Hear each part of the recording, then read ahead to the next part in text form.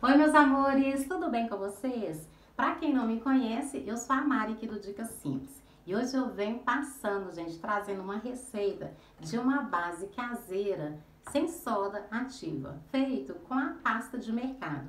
É muito simples e muito fácil de fazer. Para você poder aí fazer o seu sabão líquido ou detergente. Se você gosta desse tipo de receita, então venha comigo conferir o passo a passo porque é muito simples e muito fácil de fazer.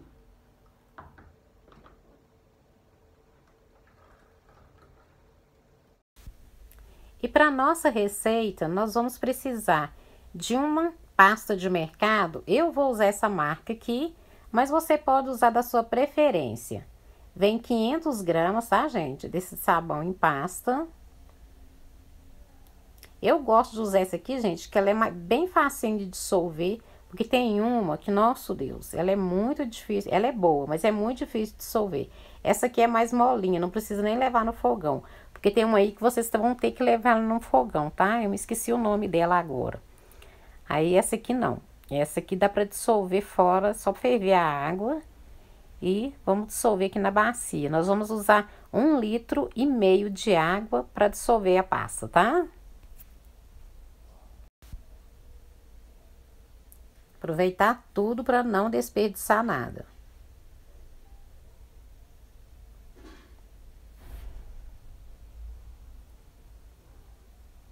Agora eu vou colocar minha água fervente. Tem que ser bem fervendo, tá, gente? E ela é bem molinha, vai dissolver rapidinho.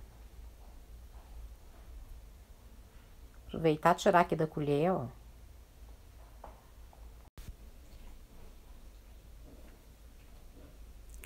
Agora, nós vamos misturar aqui, gente, para dissolver toda a nossa pasta.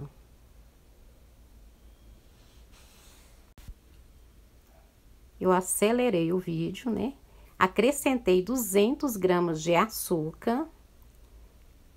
O açúcar, gente, ele entra aqui com uma glicerina e ele potencializa, ele é ótimo agente de limpeza, tá? E quando for fazer o nosso detergente, não vai precisar da gente acrescentar açúcar, porque já acrescentamos aqui. E ele vai dar aquele brilho nas nossas vasilhas. Coloquei mais um pouco de água. E vamos misturar bem.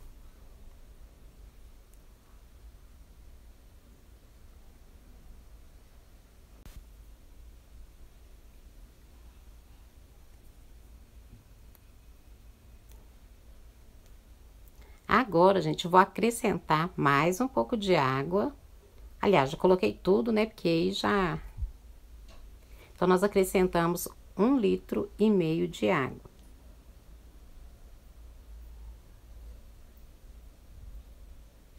Vamos continuar misturando aqui para dissolver tudo por completo.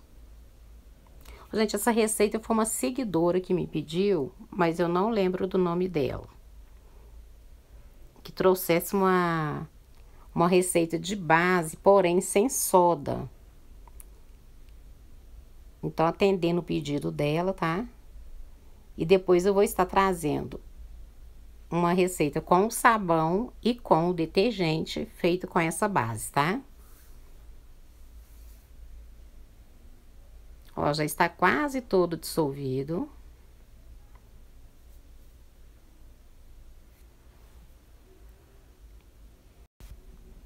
Agora, gente, aqui eu vou começar a acrescentar água em temperatura ambiente.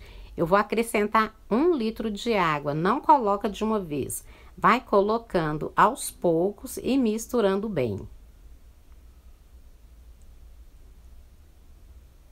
E eu já vou pedir para você deixar aí aquele joinha que é muito importante para o canal e para o YouTube entender que este conteúdo é relevante. E você que ainda não é inscrito, já aproveita, se inscreve, venha fazer parte da nossa família. E você que está chegando, sejam todos bem-vindos. Ó, vai colocando e misturando.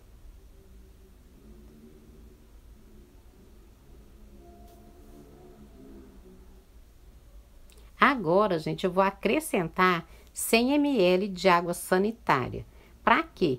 Para potencializar a nossa base. Ah, mas nós vamos fazer detergente, nós vamos fazer sabão. Gente, não tem problema, tá? Não vai manchar roupa, não tem problema para lavar vasilha, pode ficar tranquilo, tá bom? Se por acaso você for usar cloro, usa só metade. Agora vamos misturar bem.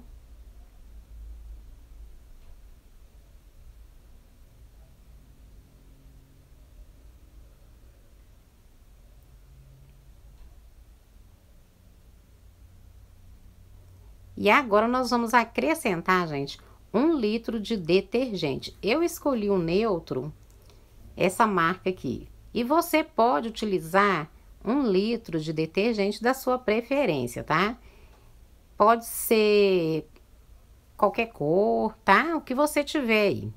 Aí vai colocando e misturando bem.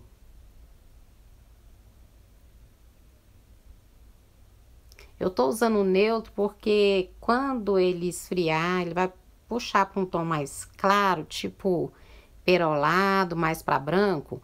E fica mais fácil quando eu fiz, fazer a receita, né? Para mim fazer meu detergente ou sabão. Então, procuro usar um tom mais claro. Pode ser o, o clear ou o neutro ou o de coco, né? Pra ficar mais fácil depois para na hora que você for fazer o seu sabão. Agora já vem com a segunda garrafinha, vai colocando, misturando bem. E ele já vai mudando de cor, tá vendo?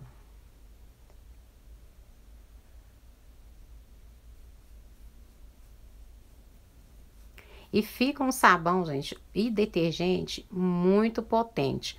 O sabão que você faz com essa base é um sabão que ele tira mancha, ele tira graxa, porque fica super potente. Então, você já faz a sua base aí, deixa prontinha aí, esperando o vídeo com o sabão, tá? Que eu tenho certeza que vocês vão gostar. Agora, vamos misturar bem.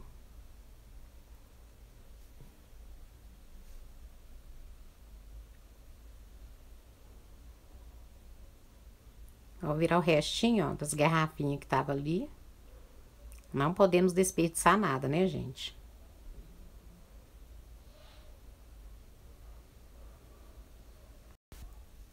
Agora, gente, aqui eu tenho duas colheres de sopa de sal e duas colheres de sopa de bicarbonato.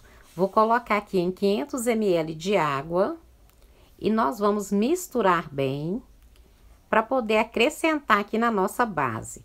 O sal, gente, ele é ótimo espessante, desengordurante, conserva, ajuda a acentuar aí, né? Se você fazer um sabão a cor do tecido, o bicarbonato, além de ser bactericida, germicida, é ótimo agente de limpeza, clareador, desengordurante.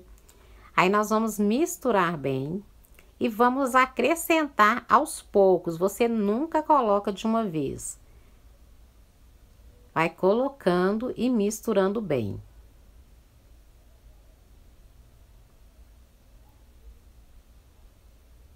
E você percebe que ele já começa a criar uma consistência. Misturar bem aqui, porque para depois não talhar, tá, gente? Não separar.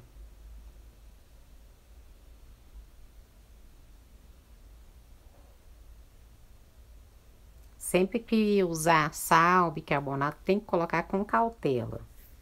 Misturar muito bem.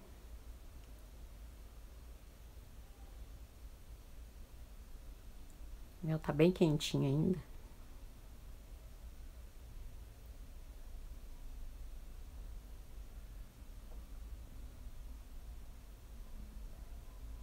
E olha como que tá dando espuma. Olha, ele já engrossou bastante.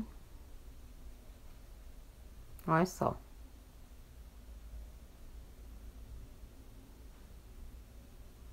Mas eu vou colocar todo que eu sei que pega.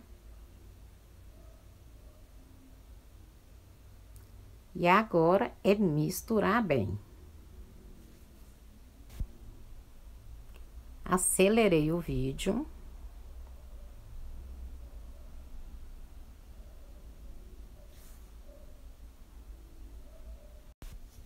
misturei bem. E agora, gente, eu vou acrescentar mais 500 ml de água. Para completar aí 5 litros, tá? Aí vai colocando e misturando bem. Lembrando, gente, que a consistência vai do gosto de cada um, tá?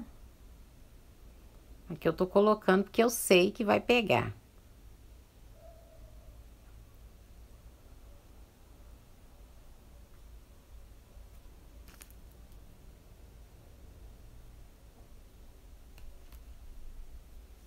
Agora, eu vou misturar bem aqui, vou mostrar pra vocês como que está, porque eu vou deixar ele no descanso que tá muito quente, abaixar essa espuma. E olha só, gente, como que já está lindo. Agora é só aguardar e depois eu volto com vocês. E aqui, meus amores, depois de 24 horas que eu deixei a base descansando. Gente, olha só que linda que está isso aqui. Olha essa consistência. top demais, né? E agora, eu só vou fazer um teste aqui rapidinho para vocês verem como que essa base tá espumando. E aqui, ó, só esse restinho que sobrou aqui na, na vasilha, eu vou pegar um pouquinho de água. Tem aqui minha buchinha que não tem nada. E essa base, gente, vocês podem usar como sabão ou detergente, tá?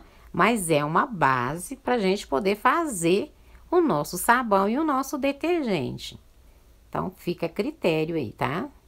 E olha só a quantidade de espuma que tá fazendo só esse tiquinho que tava aqui, ó. Olha só. Então, tá super concentrada, super potencializada. Então, já faz a sua base aí e aí esperando.